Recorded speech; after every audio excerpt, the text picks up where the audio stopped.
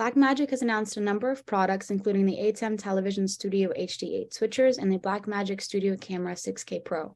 The switchers feature broadcast grade control panels with advanced features such as streaming and recording, and the studio camera features an EF lens mount, a larger 6K sensor for improved colorimetry, and fine detail handling, ND filters, and built-in live streaming. So Mary, talk to me about the switchers.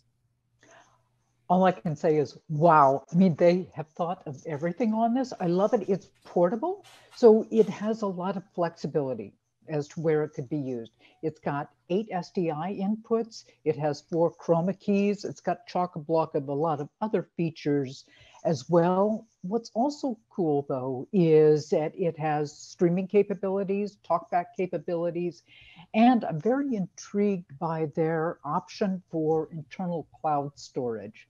I thought that was a, a, a little unusual to say internal cloud storage, but um, it is a, a wonderful feature to have. Now, what is also, it, it's everyone should always read the manual. That's that goes without saying. But wow, when I started looking at this, I thought I could easily start running that immediately. And that's certainly something that they promote, how easy it is to use. This has so many applications outside of broadcast. It can be used, first of all, for OB vans, but for sports, for corporate, that is, I think, underrated as to how easy this would be for people in the corporate world to use, and certainly for education, college stations, anything like that, small um, TV studios. It really has just so many capabilities.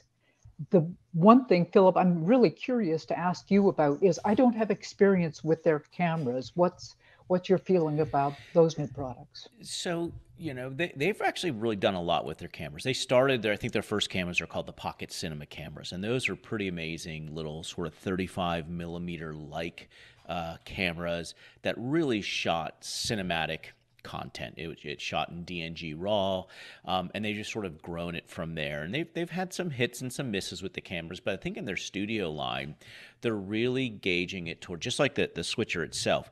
They're bringing professional level capabilities to the masses.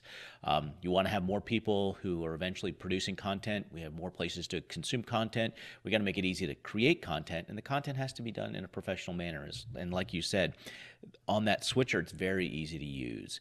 You go, you go into, and I've been into a lot of studios, and you see that massive switcher with the 10,000 buttons on it, and you're just sort of like, I have no idea how this is going to work. And this is a very clean uh, way of producing content.